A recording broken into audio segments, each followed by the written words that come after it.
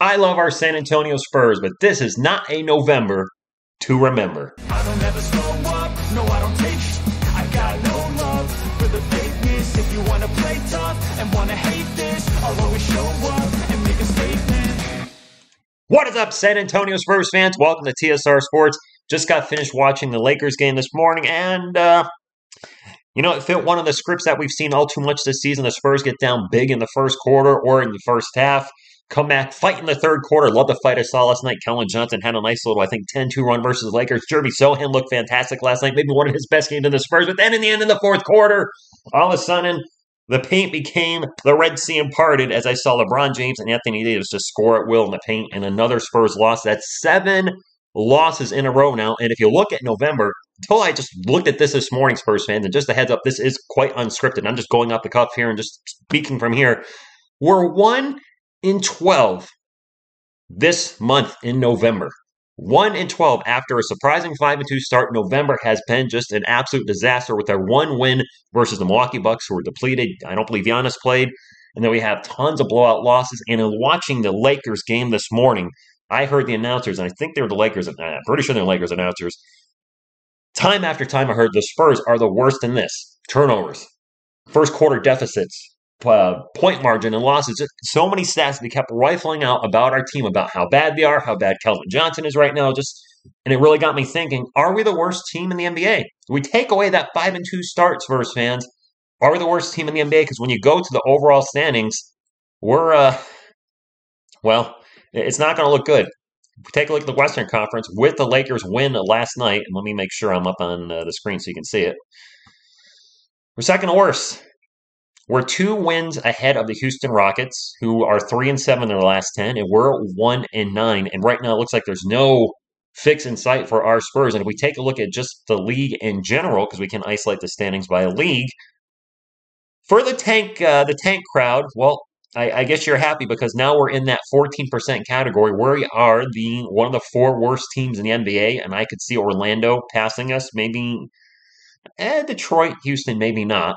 If things keep playing out the way they are, though, and I, I expect the Lakers to fully, you know, keep ascending, and I, I, I hope Charlotte gets better because we have a protected pick from them. Although they've they've been pretty bad, they won two in a row though. But we may just finish as a bottom three team in the NBA. And at the start of the season, I predicted we might win 25 games. We keep playing like we have been in November. We will be lucky to get to 20. And if that's the case, if the Spurs team does not win at least 20 games, this would be the worst Spurs team in my lifetime. I became a Spurs fan around late 1990.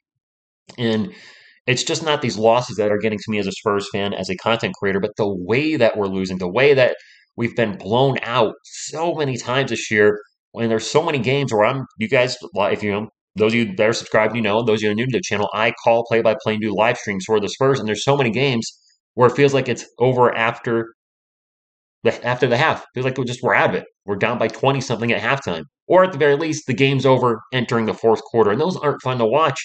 And I used to do, uh, and I say used to, I used to do weekly recaps. I'm putting those on pause right now. I don't want to sit here and do a weekly recap every week. Spurs went 0 3. Time for the good, bad, and the ugly. And I'm just totally beating up the team.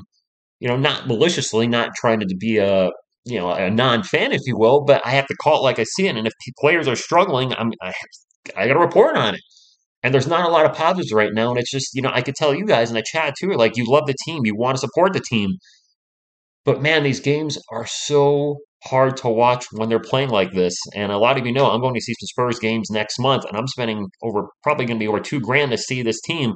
And I'm just praying to the basketball gods, please let both games I see be competitive. I would hate to see spend so much money be out in the stands. Yeah, going on the fourth quarter, down by 20. I'll stay to the end of the game. Also root for the team. Uh, man, I now one one other thing I want to touch on in this video is I got to expect there's comments or comments will be coming to bench Keldon because Keldon right now, or if there's going to be the Spurs fan that says trade him, he has, I can't sugarcoat it, he's my favorite Spur on the roster right now. He's been just, it's the worst stretch of his career. During this seven game losing streak, he did miss the one game against Sacramento he, he's been bad. He's shooting under 30% from the field. Exceptionally bad in the last three games. As you can see, he's been 4 of 20, 2 of 9, where he got benched. He got benched at the start of the third quarter against the Pelicans. And then last night, six of 23 versus the Lakers. His three point shooting is uh, going from one of the best three point shooters in the NBA to start the season, has just fallen off as he's taken contested shot after contested shot. He's completely out of rhythm, shooting 22% from beyond the arc and averaging only 13 points per game. Where not only just a couple weeks ago, we were talking about Keldon Johnson maybe making his first All Star game when he was averaging over 23 points per game. And right now, I think after this stretch, he is down to, for the season, he's averaging 20 points per game, right on the line and shooting 41% from the field and 37% from beyond the arc. And I, this video is not here to beat up KJ. I hope he gets out of this funk. He, he showed us that one brilliant spot in the 10th, uh, 10th quarter, the third quarter when he won a personal 10 2 run against the Lakers. But the Spurs are not going to win games at all while he is shooting like this. Tre Jones has also been in a funk. There's a time uh, this morning I was watching Lakers game where we had Romeo Langford, Jakob Poeltl, and Jeremy Sochan on the court at one time.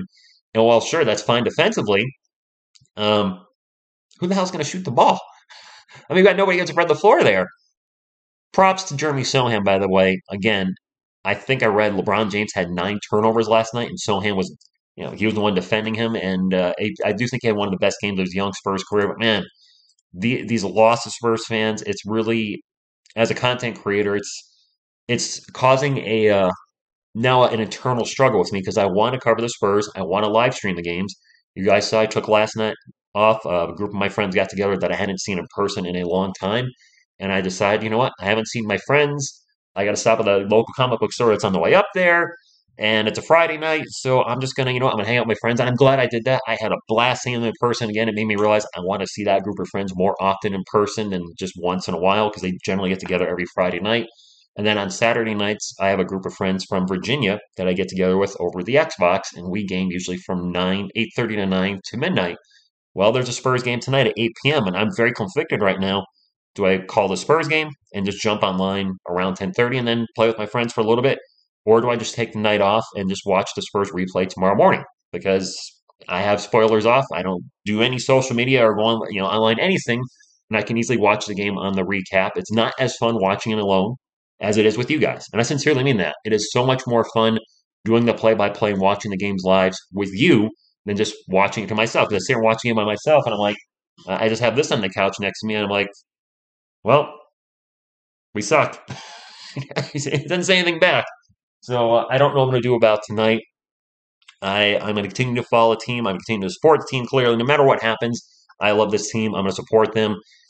But, uh, you know, and not just for me, by the way. This isn't all about TSR or even the fan base, how they're feeling watching this team lose. I, I feel for these guys going out there. I can't imagine going out there and every first quarter you're down 10, 12, 14 points. I can't imagine how that feels to go out there. And for the guys that are, you know, maybe having one of their best games of the season, you're doing everything you can to keep your team in it. And the team is just playing bad basketball overall. So I feel for the guys. I feel for Gregg Popovich. This is a, you know, say what you will, it just I, I, hate seeing any type of player or coach in any sport where they've had such a amazing run, and then those last few years maybe they hit 200 instead of 300, the average 20 points per game instead of 30. Michael Jordan with the Wizards, a perfect example of that. And this coach, Gregg Popovich, illustrious career. Uh, I assume at one point he had the highest winning percentage of all time with NBA coaches, but I guess I think he probably doesn't have that record anymore. I didn't research that. Again, this video is just kind of off script.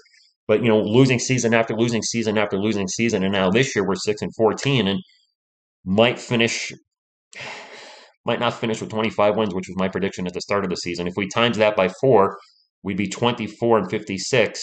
We go one and one, so we might we might actually hit that twenty five win mark. I don't know, Spurs fans. I'm just kind of rambling. I wanted to talk about the team with me not doing a videos in a little bit and just get your thoughts on the season. There are positives. It's not all negative. I am loving the growth I've seen out of Jeremy Sochan this year. Just you know, it hasn't been all successes, and I did see the Lakers daring him to shoot last night or this morning. Just uh, he's open. Just looked at him like, take the shot, kid, and he made some shots. And I've seen progression in his game where the mid-range jumper is showing some development. The three-point shot still needs a lot of work. His ability to get into the paint, uh, then run the point. We've seen progression to do there out the air. Defensively, Pop's going to put him on the best player, and he's up to the challenge. And sometimes he's going to succeed, sometimes he's going to fail. But for a 19 year old rookie, I like what I'm seeing. And, you know, Jakob Poeltl's doing his Jacoby things for the most part for this year. Tre Jones has surprised me as a capable starting point guard. I still don't, I'm not sold that he's the starting point guard of the future. it'll be interesting to see what happens with our Spurs over the next few months if they keep losing like this, or, or say they get a little better. Like every six games, we're going two and four, and every ten games, maybe we're going four and six. You know, if, they stay around a thirty-three to forty percent winning percentage, and clearly stay at the bottom of the, the league, you got to think that Pat Pop Pat Pat Patfo pop in the front office, Patfo, whatever. Can't talk. Um, they're going to look to make some moves, and that could include three people we've talked about previously: Jakob Poeltl, uh, jo- Josh McDermott, Josh Richardson, and Doug McDermott. See what happens if you don't have a little script next to your screen. They might look to start trading players, and you also have to look at it from the player's point of view. I mean, these guys that are veterans, especially a player like Josh Richardson, Doug McDermott, maybe Gorgui Dieng, they're not going to be one a part of the rebuild. So the Spurs, there's going to be that, you know, what can we do that's best for the team, but also what can we do that's best for the player? And whatever happens, I hope I hope we get out of this funk. I, I don't want to I don't want to keep seeing this. This is one of the worst months I can remember in Spurs history. I didn't do any research. Um, did we have any months like this last season where we literally were one in twelve? I know we had some losing streaks the last few years, but I just don't remember a, a period where we were this bad. And not only were this bad, but just some of the the way we're losing. Lost to the Raptors by 43, the Warriors by 37. The Lakers, the first time on the 20th, we lost by 31. Um, and, and just again, so many of these games, it feels like they're over at the half, or at the very least, they're then over at the end of the third quarter, and fourth quarter has been garbage time. Uh, at least Malaki Branham getting some minutes. So there's that. Anyway, that's all I got, Spurs fans. I'll let you know what I decide to do in the community notes, probably around five, six, maybe even as late as seven o'clock. I, I my apologies for not calling last night's game and being on the fence for tonight's game, but my, you know, you guys know, for me, God, family, friends is always, you know, God, family, friends, and then the Spurs are right there. But I, uh, since I'm not going to be around next weekend to, hang out with my friends, uh, I might, I think I'm just going to try to spend as much time with them as I can with them. So uh, I'm probably leaning, leaning towards not streaming tonight. Who knows? Maybe they'll win. Maybe LeBron and Anthony Davis will get the nine off. What can only hope, right? Anyway, I'm done rambling. Thank you all for tuning. Appreciate it. Till next time, and as always, go Spurs, go!